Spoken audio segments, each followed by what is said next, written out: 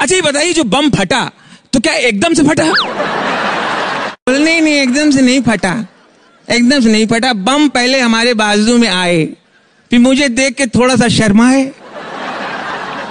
फिर लुढ़कते लुढ़कते मेरे नज़दीक आए। फिर नज़दीक आके बोले, मैं बम हूँ। आप बुरा ना माने तो फट लूँ। मैंने कहा, जब आ गए हो तो फट लो।